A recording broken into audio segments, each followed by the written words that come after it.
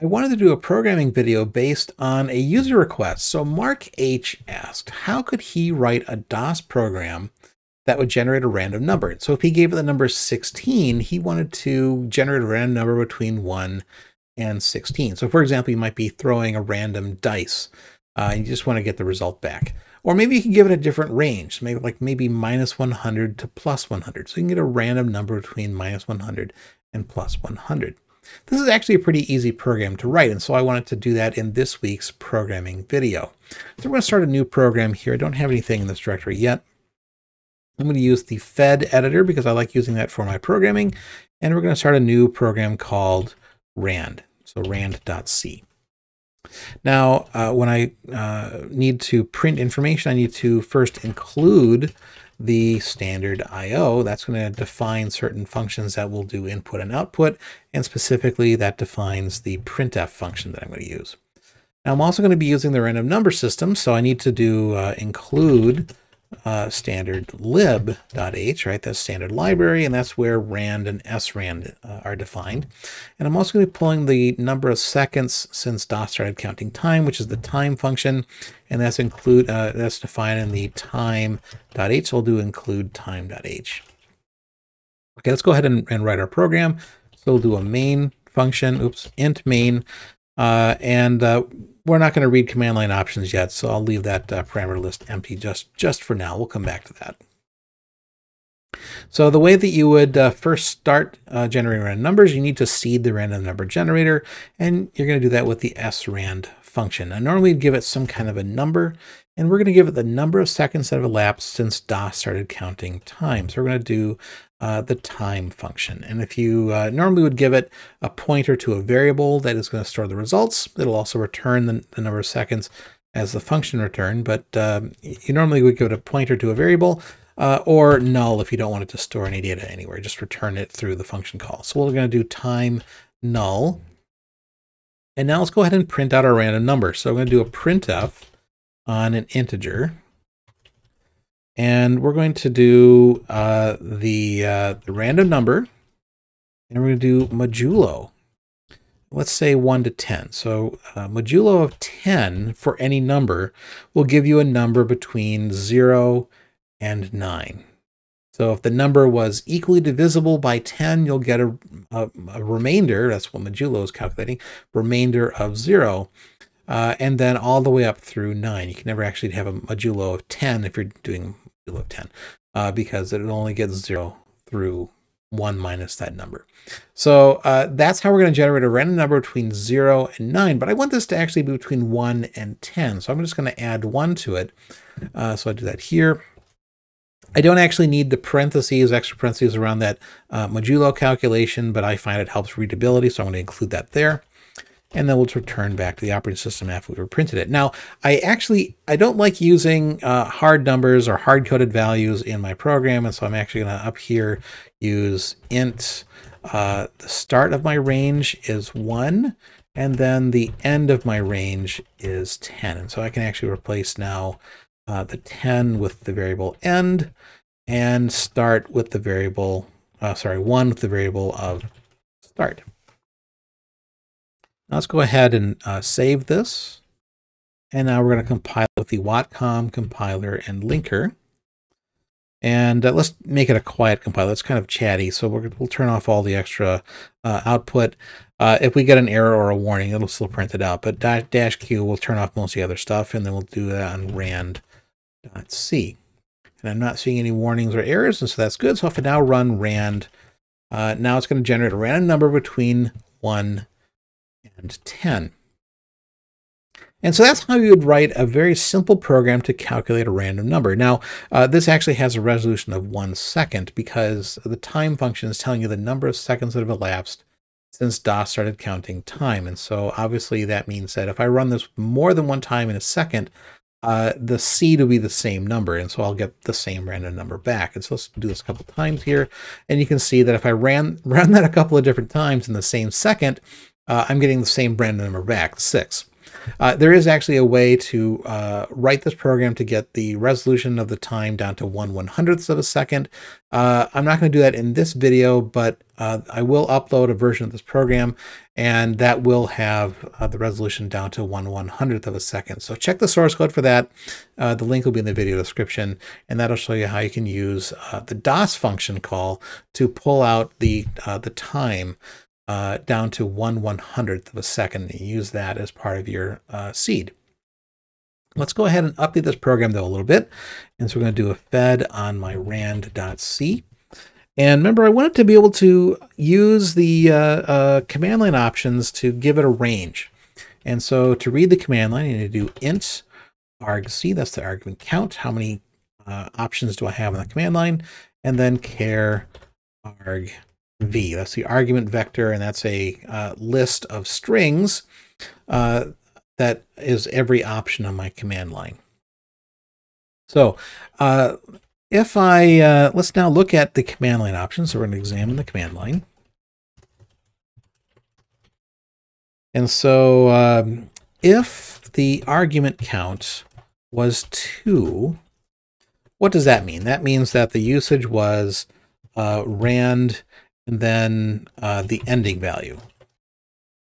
And so for that, I want to now uh, change the ending value. So we'll do end equals, and then uh, the function is uh, a to i will actually turn a string into an integer. And so what is that? That's argv1. Right, that's the first command line option. And uh, if if I had two command line options, that would be um, arg c3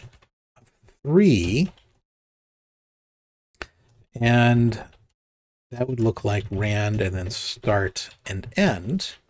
So in this case, start is a to i argv1 and the end is a to i argv2. And oops, don't need the extra line there. And of course, if my um, that's my open parentheses there. Let's go ahead and change that. Um, and if the um, argument count was uh, greater than two, that means obviously, I'm sorry, greater than three, uh, then that means um,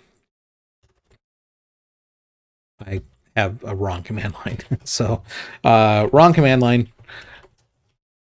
And uh, I just want to print out an error. So in this case, we'll do a, uh, uh let's do a, a, put s.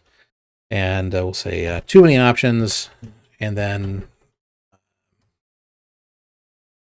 we'll, we'll tell you what the usage is. So the usage is rand and it's the ending value and I'm sorry, the, the, uh, it's the start value and the ending value. So we'll just say rand uh, is one one way of doing it, and then uh, put s. Uh, we'll say the other way to run this is usage uh, rand ending value, and then put s usage is rand start and end value, right? And then since we can't go on, we'll just say return one. That's going to return an error back to the operating system.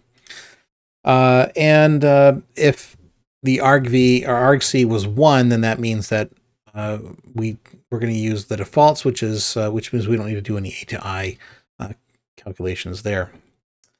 So let's let's make sure that the range the range is right. So we probably should check the range. Check the range. So uh, did we somehow set it up so that the starting value is greater than or equal to the ending value? Right, that's not good. And so we'll want to say uh, uh, wrong range.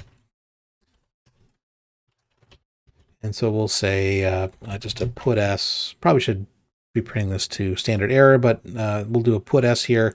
Uh, we'll say bad range. And then we'll say printf. Uh, what what is the start value in this case? So start is this value. Oops. And then the ending value is that. We'll say start and end. Now the user knows what they put in that was wrong. Um, and we should probably exit back the operating system. And so we'll return two. All right, so now we can generate our random number because we now we know that our number should be safe, our, our range should be safe. So uh, we'll, we'll uh, generate a random number. And we should be able to use uh, the rest of the code that we'd already written. So we're going to seed the random number generator with the current time, and then we're going to print out a random number uh, with a modulo of end value and um, and then the start value. Actually, um, no, I need to do uh, replace this with actually how big is my range, right? Because actually this could now be, let's say, minus 100 to plus 100. So I need to say uh, end uh, minus the start. And so if the range was uh, 1 to 10, let's say, uh, that's going to give me 10 minus 1, which is 9. And actually, I want to then add 1, right? Because that's uh, that'll get me a range of uh, modulo of 10. Uh, and so that's that's the number I'd want to use. I'll do end minus start plus 1. Uh, and so now you can see what we're adding to uh, turn that into a new random number. And we're going to add then the start value. Let's go ahead and save and quit. And let's recompile our program. Watcom compiler and linker. We'll make it quiet on rand.c. Ooh, and I have a uh, missing stuff here on line 17. So uh, fed uh, rand.c. So let's go back and find my bug. Um, what did I do wrong?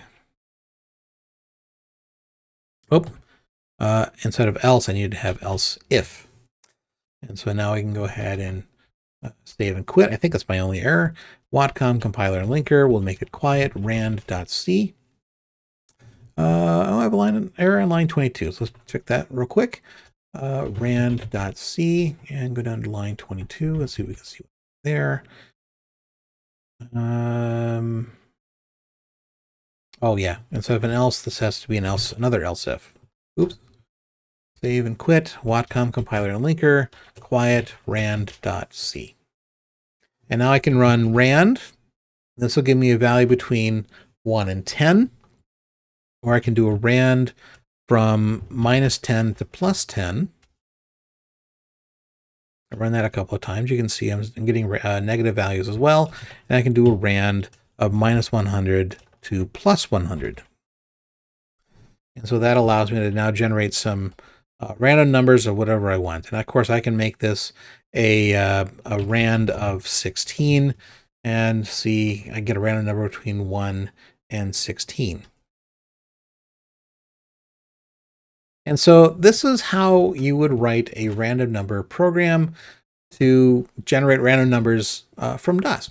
So uh, it's a good example for C programming and I wanted to share that with you. So uh, what did you think about this program? Share it in the comments below. Uh, before I go, I want to thank everyone who supports me on Patreon. You really do make this channel happen, so thank you very much for that. Some of you are sponsoring me at a higher level, and I want to thank you especially here for that too. Visit our website at freedos.org, join us on Facebook, follow us on Twitter, and consider supporting me on Patreon. And don't forget to like and subscribe. Thank you.